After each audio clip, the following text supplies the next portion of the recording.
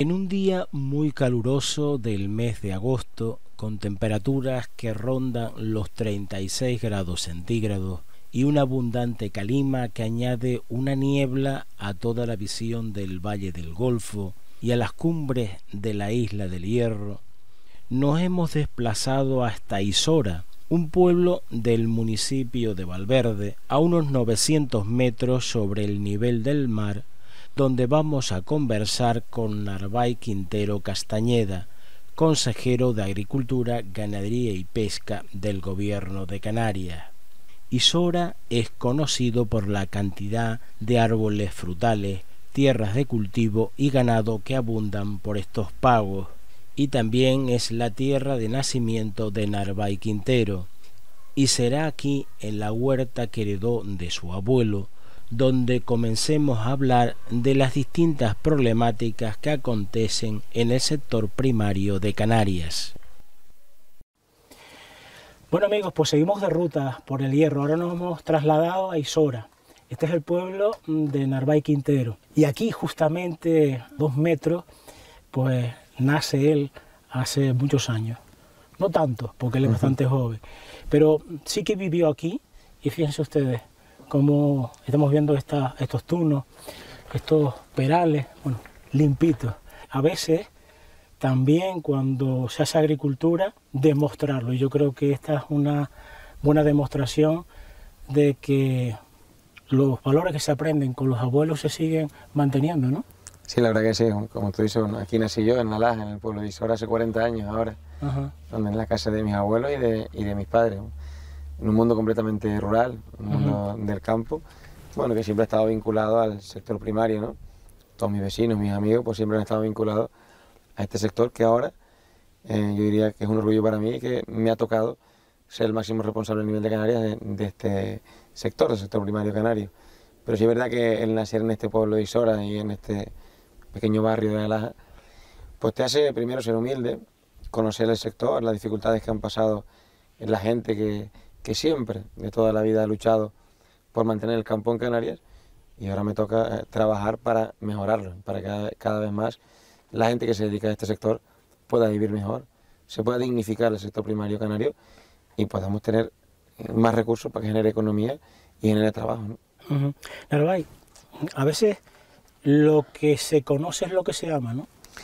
Sí, yo creo que sí, que para entender, para comprender y para sentir eh, por algo tienes que conocerlo. Puedes eh, leer mucho, te pueden contar, y hay gente que lo cuenta muy bien y te puede acercar a la realidad, pero evidentemente para poder comprender, para poder amar algo, tienes que conocerlo por, tus propios medios, visitarlo, pisarlo, ¿no? palparlo de alguna manera. El apoyo a los jóvenes em, es un objetivo, es un objetivo que a desarrollar y se ha estado desarrollando con muchas ayudas y muchos proyectos, pero a veces los jóvenes tienen que verlo muy claro y saber que van a ganar dinero para enfrentarse a una empresa agroalimentaria. Sí, yo creo que uno de los mayores retos de esta legislatura y de este gobierno, tanto el presidente del gobierno, Fernando Clavijo, como mía de, como consejero, es el relevo nacional del campo. Tenemos que conseguir ese relevo nacional porque evidentemente vemos que el sector primario tiene una mm, población muy envejecida, en mayor de 50 años está eh, más de un 70% del sector primario canario y tenemos que buscar ese relevo. Pero hay una evidencia, Lucio, el joven no va a ir solo al campo para perder dinero. No va a ir al campo si no tiene una renta digna. Pero tampoco va a ir al campo si donde vive en un entorno rural como este pueblo de Isora, como hay muchos pueblos por toda, repartidos por toda el área, tiene servicios básicos que le permitan desarrollarse como persona, que le permitan desarrollar una familia. Y yo creo que el joven necesita eso y tenemos que dárselo. ¿Qué hemos hecho nosotros? Hemos sacado una convocatoria, sabes que la convocatoria eh, que hemos sacado en este año se han apuntado 354 jóvenes nuevas empresas de jóvenes, de agricultores y de ganaderos, que es el doble que las tres convocatorias anteriores. Hemos conseguido. Y habíamos puesto en un principio una partida de 7 millones de euros. Yo creo que positivamente esos eh, recursos que han pedido los jóvenes se ha aumentado hasta 13 millones de euros.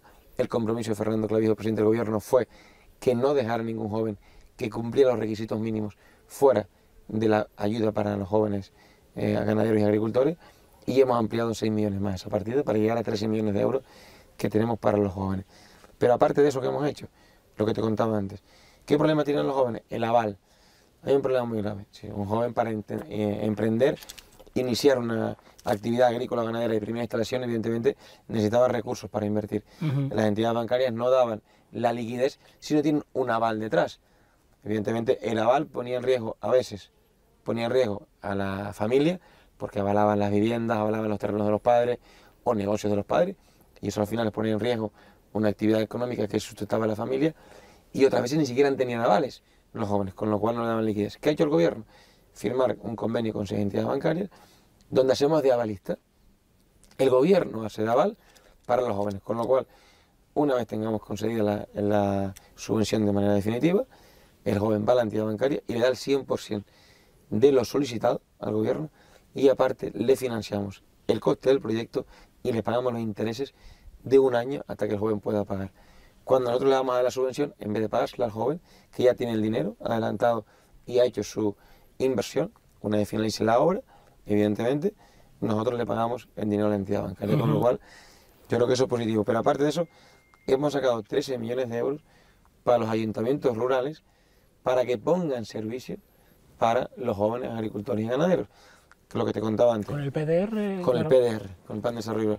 Lo que te contaba en este pueblo de, de Isora, si los jóvenes no tienen una línea, por ejemplo, tan sencilla como de alta velocidad, para incluso en su negocio poder vender sus quesos por internet, poder hacer eh, sus compras y ventas por internet, comercio electrónico, o simplemente para que ellos mismos, o sus hijos, o su familia, puedan entrar en el mundo, que es internet hoy es entrar en, la globalización del mundo, si no tenemos esos servicios, el joven también es muy difícil que se quede en un mundo rural.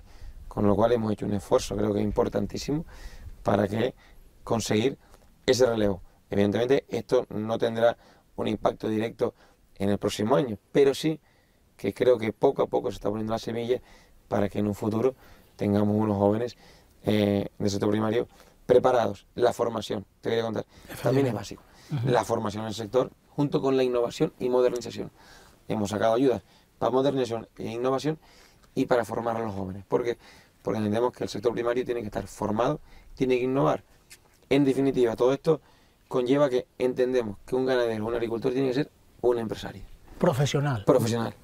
Entonces, ¿qué hemos hecho? Las ayudas van directamente dirigidas a aquellas personas que son agricultores ganaderos activos. Aquellos que en Canarias significa, ¿qué significa esto? Que el 25% de su renta viene directamente del sector primario. Porque aquí sí conseguiremos formar un sector primario profesional.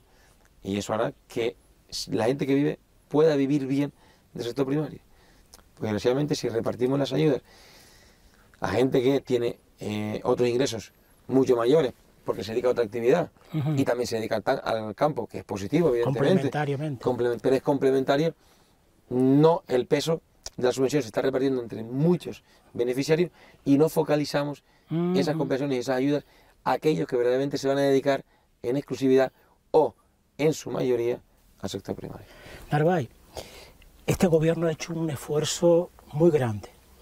Te lo digo porque eh, he visto las noticias no hace mucho, que es la segunda región en nuestro país en cuanto a bueno, pues apostar por esas ayudas, por esas subvenciones en el sector primario. 107 millones, y corrígeme si me equivoco, que aportó tu departamento. Eso es mucho dinero. ¿eh? Mucho dinero. 107 eh, millones desde la viceconsejería, del organismo pagador, y en total 394 millones ah. desde la, toda la consejería que hemos dado en este año 2016, el año pasado, 2016 al sector primario. Como tú decías, la segunda comunidad autónoma que más recursos públicos ha puesto y ha conseguido dar al sector primario. Con lo cual yo creo que eso es también eh, hay que felicitar a todos los trabajadores, evidentemente funcionarios de, la consejería y de los organismos autónomos, tanto de ICA como de ICIA como de la empresa pública GMR, que creo que se ha hecho un esfuerzo eh, importantísimo para conseguir, que esto yo creo que es positivo para Canarias, que seamos la segunda región de toda España, segunda región de toda España, que más, eh, digamos, compensaciones y ayudas públicas para modernizar, para innovar, para fortalecer y para ayudar a un sector primario que evidentemente estamos descompensados por nuestra situación geográfica, con lo cual yo creo que eso es muy positivo. Y otra cosa que sí quisiera aportar, y me corrige usted si no es cierto, que esa cifra es tiene un carácter muy importante y sobre todo cuando lo comparamos con otras regiones que tienen un Producto Interior Bruto mucho más alto que Canarias. Y bueno, como usted bien decía, tenemos una región ultraperiférica, es decir, que los insumos y todos los gastos que tenemos son importantes. También en la administración, ¿no? Sí, evidentemente también, también en la administración. Tienen que entender que el, el sobrecoste que soporta Canarias es un sobrecoste mayor que cualquier otra región. Con lo cual, ese esfuerzo que hacemos es por, porque entendemos que tenemos que poner a Canarias en igualdad de condiciones que el resto del continente europeo.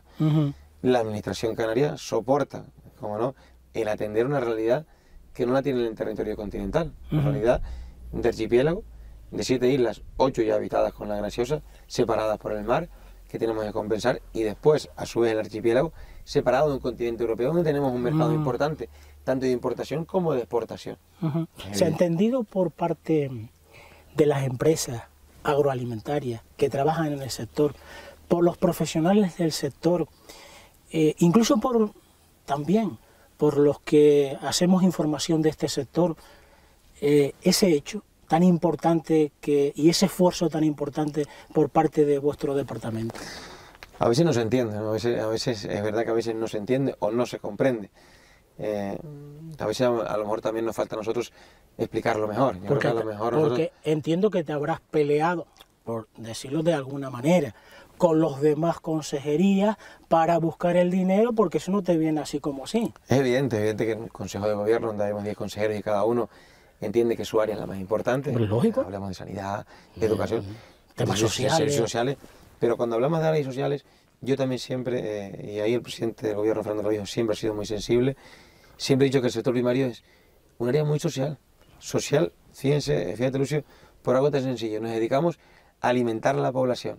Efectivamente. Qué sencillo, pero también hay que decir que tenemos que comer todos los días. Tenemos que alimentarnos todos los días, con lo cual nos dedicamos a algo tan sencillo, pero algo vital. Con lo cual entendemos que nuestra área también es social. Social porque nos dedicamos a alimentar, también social porque mantenemos una cultura y un patrimonio de Canarias, sector primario, porque mantenemos un paisaje, Lucio. En todas Canarias podemos ver paisajes preciosos, espectaculares, que lo mantiene el sector primario. Lo mantiene esos hombres y mujeres que durante muchos años han trabajado en el campo y nos mantiene eso. Mantiene eh, algo que es fundamental y, en La Palma nos pasó desgraciadamente en el primer año de gobierno el incendio de La Palma. Mantiene las medianías. Efectivamente. El mantener las, medianías limpias de cultivos como la viña, el sector de la viña, es fundamental. Es la mejor prevención que podemos tener para los incendios. Porque como decía un experto, los incendios normalmente no se crean en el monte, se crean en las medianías que están abandonadas y de ahí evidentemente entra en el, en el sistema boscoso de Canarias. Con lo cual, en, en La Palma se vio que muchos viñedos hicieron de cortafuegos naturales limpios y no entró el fuego al monte. Con lo cual, yo creo que el sector primario da muchísimo a la sociedad y es verdad que, como tú decías, tenemos que entender que entre todos tenemos que darle. Poner en valor. Poner en valor el sector primario, lo importante que es, y es evidente que no todos lo reconocen. Eh, siempre hay, gente que siempre se piensa que todo lo que se le da es poco, pero bueno, yo creo que es una forma también de ser de, eh, nosotros a veces, pero sí se ha yo creo que se ha hecho un gran esfuerzo, un esfuerzo importantísimo Solo con ver que en estos dos años hemos pagado el POSEI de 2013 2014, hemos convocado 2015 y vamos a convocar antes de final de 2016. Es decir, vamos a pagar en dos años, dos años y medio, el POSEI casi de cuatro años. El POSEI adicional que nos, que nos adeudaba el, Estado, el Estado español, que no lo había puesto. Yo creo que ese esfuerzo y esa lucha bueno, algunos reconocen, otros no, pero... El sector tomatero sí se lo ha reconocido. El sector tomatero sí, yo creo que el sector tomatero se ha hecho algo importantísimo y el nuevo plan que ya hemos presentado a Europa, la nueva estrategia del tomate, cuando llegué a Lucio estaba a 7.500 euros la hectárea. Hemos conseguido enviar a 15.000 euros la hectárea. Que nos moscó de pavo. Que nos moscó de pavo, es bastante. Eh, somos eh, optimistas en que incluso eh, algunas zonas, incluso de Tenerife Sur, están empezando a comprar hectáreas para plantar tomate. Guía de Isora. Guía de Isora, por ejemplo, nos comentaron. Ojalá una cooperativa importantísima que está montada y que ojalá que vuelva a retomar lo que fue en su tiempo. Yo creo que el esfuerzo, pero nosotros no trabajamos, la consejería no trabajamos por lo que nos puedan reconocer o no. Claro que gusta, todos nos gusta que nos reconozcan, pero creo que cuando somos servidores públicos y nos han puesto ahí, tenemos que ser responsables. Igual que tenemos que ser responsables para hacer aquello que tenemos que hacer y que entendemos que es bueno para el sector, aunque recibamos críticas de algunos, también somos responsables para que, aunque no se recibamos halagos, tenemos que seguir por el mismo camino y atender al sector primario para fortalecerlo. Pues ya que estamos aquí, y la verdad que Narváez, se me están viendo los ojos a los tunos. Eh, esto a primera hora de la mañana, en agüita fresquita, en un, con un balde sacado de agua de un aljibe, esto tiene que estar de muerte. Esto está buenísimo. buenísimo. A primera hora de la mañana o a última hora de la, noche, un tuno de estos blancos que tenemos aquí. esto, es el mejor postre que nos podemos Esto es lo más grande que hay. Y ahora son frutas de, temporada y tenemos que aprovecharlas. Efectivamente. Yo creo que, que, es un, fruto a explotar. Como sabes, hemos, eh, nos han aprobado con línea llevamos tiempo intentando potenciar el, el, tuno, el higo pico, eh, la chumbera, la chumbera, como se llaman, diferentes nombres que tenemos en Canarias, pero ahora nos han aprobado un, un proyecto de LICIA científico donde se va a demostrar científicamente los valores nutritivos y medicinales que tiene eh, el tuno eh, o el higo pico, como se quiere llamar, en Canarias, con lo cual yo creo que eso le puede dar un muy importante a este fruto que en Canarias es muy potente y que desgraciadamente no se le da el valor que tiene. Veo estos tunos, veo esos perales que tienes ahí. Eh, también veo, no sé si es un aguacatero que tiene, tiene, muchas cosas plantadas. Eh, hay un caballo de batalla, siempre en nuestro programa, y es la producción local. Y también el caballo de batalla de la consejería. Mm, me preocupa muy mucho que estemos entre un 9 o un 10% de lo que producimos, que es lo que al final van a comer los canarios. Europa dijo hace tiempo, cuando nos dio el POSEI, dice que había que llegar al 25%. No lo hemos conseguido. Aquí responsables somos todos. ¿Hay manera de incrementar eso? Porque estás trabajando en eso. Sí, yo creo que tenemos que... Eso también es uno de los objetivos, eh, claro, decir que nuestro... Dos cosas. Primero, que el autoabastecimiento de productos locales aumente y podamos llegar en un futuro eh, evidentemente, llegar al 25% no es cosa ni de 4 ni de 8 años. No, eso es mucho Pero siempre podemos empezar a subir. Eso es algo fundamental. Y segundo, que el PIB del sector primario siga subiendo, porque eso le damos valor al productor, que es otra preocupación, que la agricultura, el ganadero y el pescador cobren más por el trabajo de casa, que perciban eh, un sueldo digno, no que en la cadena se quede, en la cadena esa se quede todo el valor y el valor al productor se le dé poco y después al consumidor cobre, el consumidor pague tres veces más que lo que le han pagado al productor por su producto. Con que exista un diferencial de precio tan grande. Exactamente, eso es lo que tenemos que luchar y estamos ahí luchando. Y estamos haciendo acciones con eso. Primero, la primera es, yo creo que potenciando el, producto local, proyectos como Crecer Juntos, es un proyecto que, que potencia el sector primario. ¿Con qué sector? Ya con todos, pero principalmente con el sector turístico, un sector que teníamos ahí, 14, 15 millones de turistas. La hostelería. Y que la hostelería, exactamente, la restauración, y que no consumía productos canarios. Yo creo que hemos conseguido hace un año, y cuatro meses, cinco meses que poníamos este proyecto a caminar, hoy en día tenemos resultados, donde ya las cadenas empiezan a comprar, donde ya incluso ya no solo sectores de la administración pública, hemos visto cabildos, ayuntamientos que empiezan a decir que tenemos que vincular el sector primario a la restauración y al turismo, eso es muy positivo, pero también estamos viendo empresas y colectivos como de cocineros, colectivos eh, sociales, otro tipo de colectivos empresariales que empiezan a valorar eso. Y gracias, yo creo que tengo que dar las gracias aquí a las organizaciones agrarias de Canarias, en todo en general, porque siempre han trabajado conjuntamente con nosotros, hemos discutido mucho, por eso es positivo, a veces estamos de acuerdo, otras veces estamos en desacuerdo, pero hemos discutido y siempre hemos llegado a posiciones comunes por el sector. Y esto es una que la tengo que agradecer a las organizaciones agrarias profesionales de Canarias, el trabajo tan enorme que han hecho conjuntamente con la consejería para que poco a poco, es verdad que no es de un día para otro, esto se vaya consiguiendo. Y hemos conseguido, en el año pasado, los datos son que el dato interanual del 2016, el 2016 crece un 4,9 del PIB con respecto al 2015. En trimestres del año 2016 fuimos el sector que más crecimos. También crecimos en empleo, con respecto a un 17% en los últimos tres años hemos crecido un 17% de empleo en el sector primario. Y que no se echa que eso a que, como se dice por algunos sectores, es que volvieron al campo por la crisis. No, no, no, no, esto también lo tenemos estudiado. En el 2008, 2009, 2010 sí vuelven al campo por la crisis, pero desgraciadamente, pensando que el campo era fácil, se dieron cuenta de que no, el campo hay que estar formado, hay que conocer el campo para vivir del campo, y desgraciadamente no se quedó mm, ni la mayoría de gente que fue por la crisis de la construcción fundamentalmente, y la crisis de los servicios se fueron al campo, no se quedaron. Han retomado esta actividad profesionales, han eh, retomado empresarios del sector primario que están formados, gente muy joven, gente también que lleva muchos años y que ya no es tan joven, dando el callo y que lo ha hecho muy bien, y eso ha hecho que en el empleo y en el PIB hayamos crecido, y también hemos crecido en el autoabastecimiento. Hemos crecido en el último año en consumir. Y es lo que yo siempre he dicho, y yo creo que está calando, ¿no? En la sociedad canaria poco a poco está calando el consumir producto local. Porque hemos demostrado en el proyecto MAC que presentábamos con la Macaronesia, con Cabo Verde, con Azores, con Madeira, que ahora eh, venía el ministro de, Cabo Verde, estuvo aquí hace poco. Y no hace mucho también estuviste en Cabo Verde. Estuve en Cabo Verde junto con el ministro, con este proyecto MAC que tenemos conjuntamente, y una de las patas fundamentales es la incidencia de los productos fitosanitarios y la trazabilidad de los productos locales y los productos que, que importamos. Científicamente se ha demostrado, este proyecto, que tienen menos residuos, con lo cual son más sanos los productos canarios, los que producimos en Canarias, que los que importamos de fuera. Con lo cual podemos decir que son más sanos los productos canarios, son más sanos, son mucho más frescos, evidentemente porque los tenemos del campo a la mesa. Y lo tercero, generamos economía, generamos sociedad, generamos cultura y generamos paisaje en Canarias. Con lo cual, ese mensaje a la sociedad creo que poco a poco está calando. Y que la propia sociedad canaria, cuando va a comprar, cuando va a lineal, cada vez mira más que el producto sea canario. Eso va a ayudarnos a todos. Y además otra cosa, y perdona que te corte, la huella de carbono será menor. Será menor. Porque es más cerca. Yo más cerca. Europa acaba de decir que en el 2020, a partir del 2020, tenemos que hacer una incidencia fundamental en la huella de carbono, respeto medioambiental, y nosotros en Canarias lo conseguimos. El proyecto que estamos haciendo, que se aprobaron las directrices de gobierno, en un proyecto que es con educación y con, y con, sanidad, efectivamente.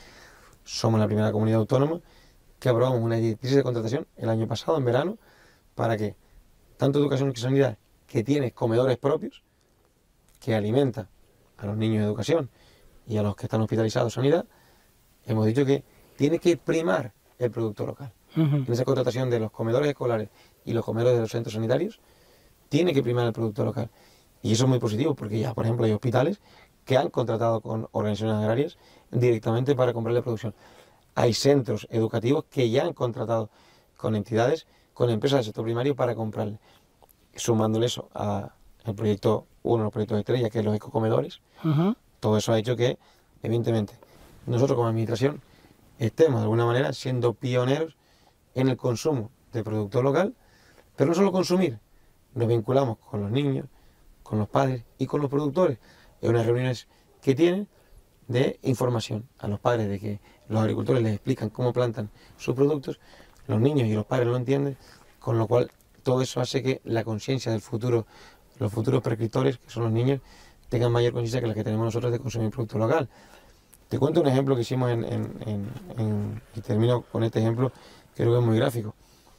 En San Bartolomé, en Las Palmas de Gran Canaria, hicimos el concurso este año Agrocanarias de, de los quesos de Canarias y hicimos, dentro del concurso de quesos, hicimos algo pionero, concurso de queso de niño, infantil, con los centros educativos de San Bartolomé en, en, queso? No, no, si son tres jornadas. Una le explicaban la cultura del queso a los niños, otro le explicaban cómo se elabora el queso y la otra cómo se cata el queso.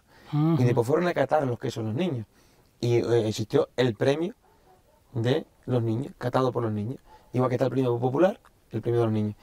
Y una niña decía, cuando probaba los quesos, dice, a mi madre ya le dije que no quería que comprara más quesos de fuera que todos los quesos tenían que ser de Canarias, primero porque son los mejores y porque aquí se hace el queso y lo hace nuestra gente. Sí, eso que te lo dice una niña valor? de nueve años tiene mucho valor porque esos son los prescriptores del futuro y en eso es lo que tenemos que incidir. La educación es fundamental.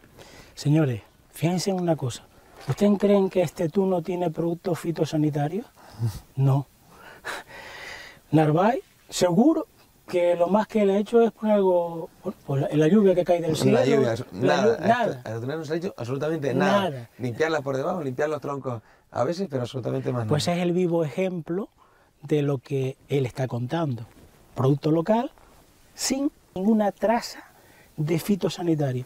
¿Qué más quiere? Eso es salud, ¿no? Eso es salud. Y además, y mucho más sabrosos. Y mucho más sabrosos. bueno, pues si te parece vamos a seguir porque el sol está cayendo y son las 1 y 20 de la tarde.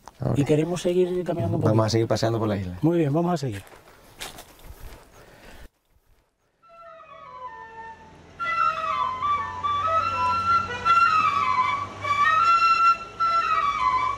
Eres bella, isla del hierro, en la plenitud de la palabra bella a Dios le doy las gracias por haber nacido en ella.